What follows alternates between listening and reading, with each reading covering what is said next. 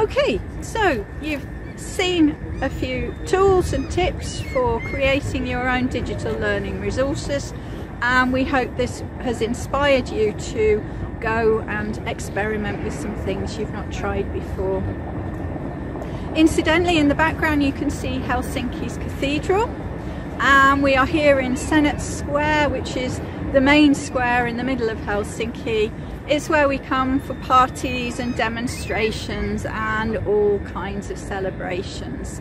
It's like the living room for Helsinki.